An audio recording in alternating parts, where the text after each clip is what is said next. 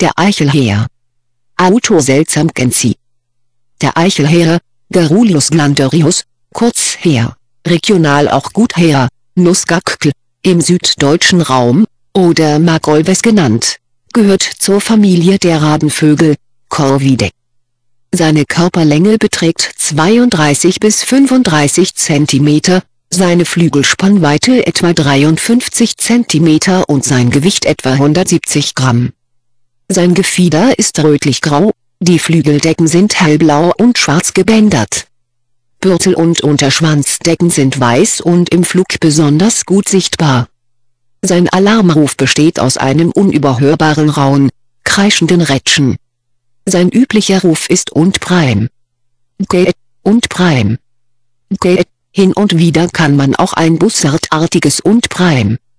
Pü, vernehmen. Ansonsten ist sein Gesang leise schwätzend. Der Eichelhäher ist in der Lage, Stimmen anderer Vögel oder Geräusche nachzuahmen. Er warnt mit seinem Alarmruf vor Feinden, auch vor Menschen. Der Eichelhäher ist Allesfresser. Seine tierische Kost besteht aus Wirbellosen und deren Larven, vor allem im Frühjahr auch aus Vogeleiern und Nestlingen. Die pflanzliche Nahrung besteht unter anderem aus Eicheln, Bucheckern, Nüssen, Erbsen, Kartoffeln, Äpfeln, Beeren und Getreide. In Zirbenwäldern sieht man den Eichelhäher besonders oft, da die Frucht der Zirbenzapfen zu seinen Lieblingsspeisen zählt. Im Herbst sammelt er Eicheln, Bucheckern, Nüsse und Esskastanien und legt Depots unter Baumrinde, in Baumstümpfen oder im Boden an. Durch seine Vorratshaltung ist er über das ganze Jahr in der Lage Eicheln zu fressen. Die tierische Nahrung dient hauptsächlich zur Aufzucht des Nachwuchses. Durch seine Vorratshaltung und die unvollständige Nutzung dieser Depots sorgt der Eichelhäher für die Ausbreitung zahlreicher Baumarten, in Mitteleuropa betrifft das vor allem Stiel- und Traubeneiche, aber auch Buchen und Hasel. Solche durch Eichelhäher begründete Baumbestände werden in der Forstwirtschaft als Hähersaaten bezeichnet. Den Eichelhäher findet man in Europa, in Nordwestafrika und in Asien bis nach Japan.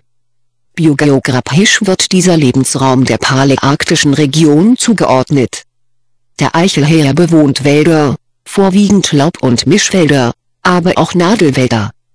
Daneben kommt er in waldnahen Gärten und baumreichen Parks vor. Sein Revier ist etwa 25 Hektar groß. Anfang April baut der Eichelhäher im Geäst der Waldbäume sein flaches Nest, nicht sehr hoch über dem Boden, meistens nur in einer Höhe von 2 bis 10 Metern. Es besteht aus Zweigen und Halmen. Innen baut er es meistens mit feinen Wurzeln, Moos und ähnlichem Material aus. Das Weibchen legt fünf bis sieben graugrüne, bräunliche gefleckte Eier, die Brutzeit liegt zwischen Ende April und Juni und dauert 16 bis 17 Tage. Männchen und Weibchen lösen einander beim Brüten ab. Die Nestlingszeit beträgt 19 bis 20 Tage. Der Eichelhäher brütet nur einmal im Jahr